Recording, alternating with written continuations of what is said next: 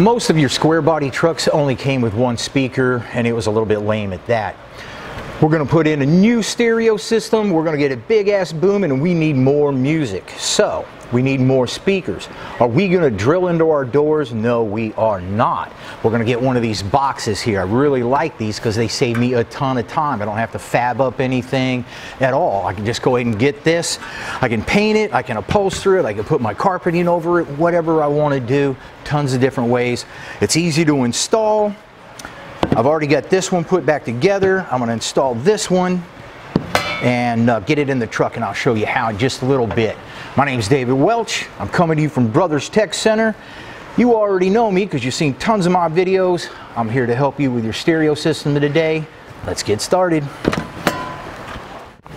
Okay, so here's a little tip for you. You go get some sound deadening, you get a pretty decent amount. You go ahead and you roll it on up and you stick it in the corner here before you put in your speaker.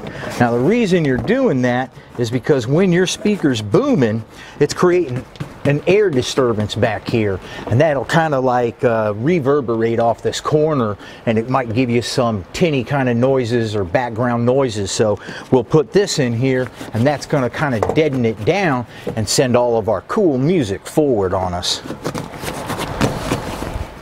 So obviously before I install the speaker, I'm going to want to put my wires on here, hook these up, and then I'll go ahead and I'll hide the wires through the sill plate on the rocker panel here. Uh, but just to show you for now, you'll notice this curvature right here, it fits perfectly right into this corner. Right like that. So a couple of screws in the top and the bottom, we're all good to go. I'll wire this up, we'll see what it sounds like.